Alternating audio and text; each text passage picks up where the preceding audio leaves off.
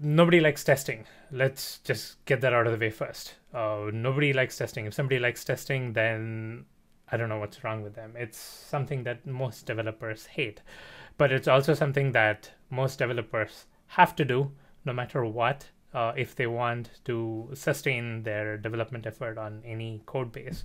So if you have to do something, you might as well learn how to do this. So with that said, welcome to this course, JUnit 5 Basics.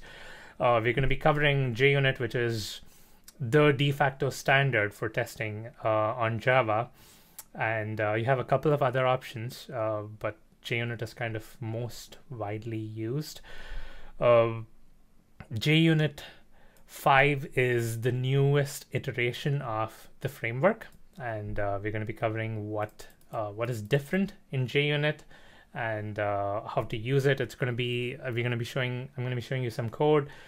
Uh, we will try some of the new features, and you will learn how to use JUnit.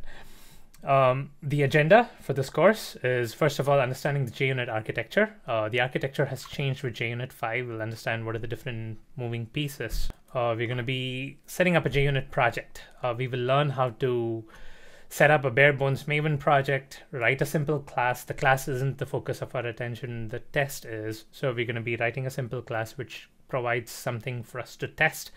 And then we will use JUnit to write some test cases.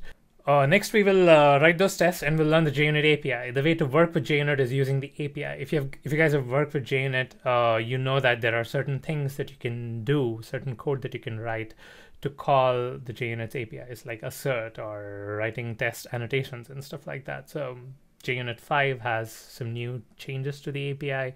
So we're going to be learning all of those. So we have stuff like uh, assertions, learning what the lifecycle of JUnit is, execution control, and all that kind of stuff.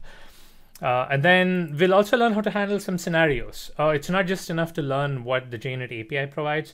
It's also important to understand like what you can do with it. Or what are the common scenarios that you're going to run into and then how to use the api to address those scenarios. So for example uh, how do you handle exceptions? How do you do conditional execution? You might want to have certain tests run at certain times and certain other tests run. So you have to figure that out. And repeated tests. You want to run certain tests repeatedly uh, you got to do that. And JUnit provides the apis for it so we'll learn how to do all those things as well